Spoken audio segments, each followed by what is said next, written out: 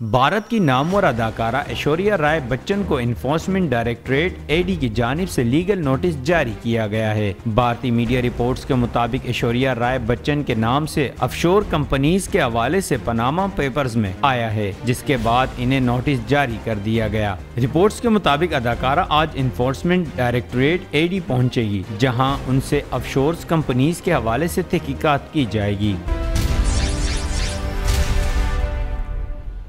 बोल ब्रीफ्स की वीडियो सबसे पहले देखने के लिए बोल ब्रीफ्स के चैनल को सब्सक्राइब करें और बेल आइकन पर क्लिक करना ना भूलें।